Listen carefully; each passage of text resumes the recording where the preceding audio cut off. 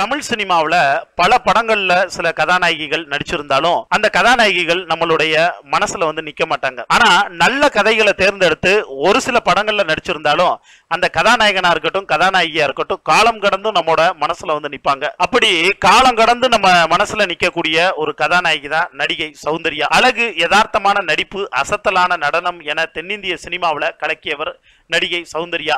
இவர் எதிர்பாராத வகையில ரெண்டாயிரத்தி நான்காம் ஆண்டு விமான விபத்து ஒன்றில் உயிரிழந்த தினம் ஏப்ரல் பதினேழு. சௌந்தர்யாவுடைய கடைசி படம் அப்தமித்ரா. அதாவது சந்திரமுகியினோட ஒரிஜினல் வெர்ஷன் அதுதான். அதுவும் ஒரு மலையாள படத்தோட ரீமேக் தான். அந்த படத்தில் ராரா பாடலுக்கு சௌந்தர்யாவை மிகச் சிறப்பாக நடனமாட வைத்த நடன இயக்குனர் ராதிகா சூரஜித் சௌந்தர்யாவோட நினைவுகளை பத்தி பேச ஆரம்பிச்சாங்க. அப்ப அவங்க சொன்னது இவன் படத்தில் வேலை செய்யும் போதுதான் சௌந்தர்யாவுடன் எனக்கு நட்பு ஏற்பட்டுச்சு. அந்த படத்துல கர்நாடக இசை பாடகி சுதா ரகுநாதன் பாடிய மூணு பாடல்களுக்கும் நான் தான் நடன இயக்குனர். என்னை என்ன செய்தாய்? பாடல் ஷூட்டிங்க்கு முன்தினம் சௌந்தர்யாவுக்கு பயங்கர காய்ச்சலுங்க. ஆனாலும் ஓரளவுக்கு உடலை சரிப்படுத்திக்கிட்டு சரியாக ஷூட்டிங்க்கு வந்துட்டாங்க.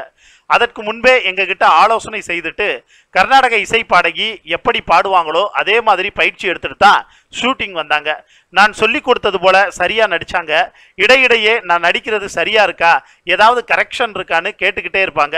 அந்த பாடலை இளையராஜா சார் மிக சிறப்பாக உருவாக்கி இருந்தார். மிக கடினமான அந்த பாட்டில் நிறைய நுணுக்கமான விஷயங்கள் இருக்கும். அதனால் மிக கவனமாக பாடலை ஷூட் பண்ணோம். ஒரு கட்டத்தில் கர்நாடக இசை சங்கதிகளை கேமராவுக்கு முன்னாடி ஒரு பேப்பரில் எழுதி காட்டுறோம். அதை பார்த்து சுலபமாக பாடிடுங்கன்னு சொன்னேன். அதுக்கு மறுப்பு சொன்ன சௌந்தர்யா பாடல் வரிகளை மனப்பாடம் செஞ்சுட்டு மிக சிறப்பாக வாயசிச்சு பாடிட்டாங்க.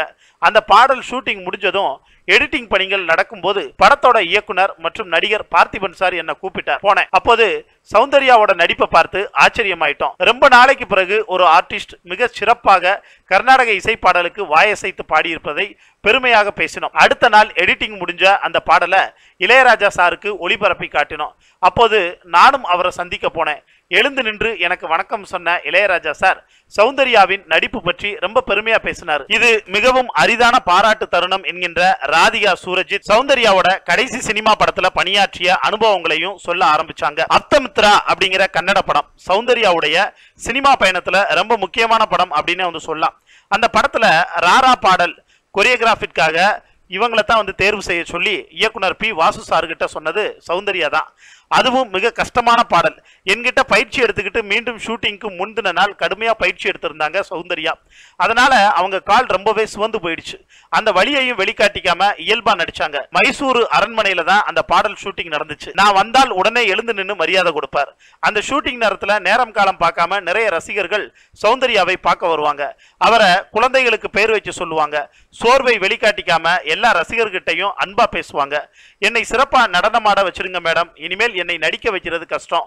முடிஞ்ச வரைக்கும் என்கிட்ட வேலை வாங்கிடுங்க. இனி இதுக்கெல்லாம் வாய்ப்பு அமையாதுன்னு ஒரு நாள் சௌந்தர்யா சொன்னாங்க.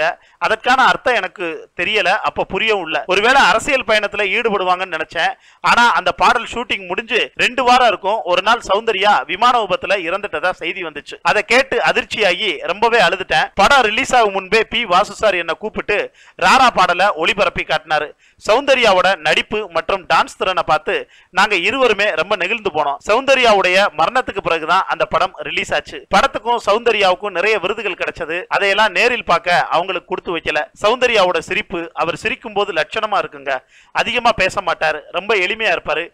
சின்ன வயசுலேயே அவங்க இறந்துட்டது சினிமா துறைக்கு மிகப்பெரிய இழப்பு அப்படின்னு ரொம்ப உருக்கமா சௌந்தர்யாவை பத்தி பேச முடிச்சாங்க ராதிகா சூரஜித். எத்தனை பேருக்கு சௌந்தர்யா வந்து பிடிக்கும்? அவங்களுடைய நடிப்பு எத்தனை பேருக்கு பிடிக்கும் அப்படின்னு உங்களுக்கு தோணக்கூடிய கருத்துக்களை கீழே இருக்கக்கூடிய கமெண்ட் பாக்ஸ்ல மறக்காம மென்ஷன் பண்ணுங்க. நன்றி வணக்கம்.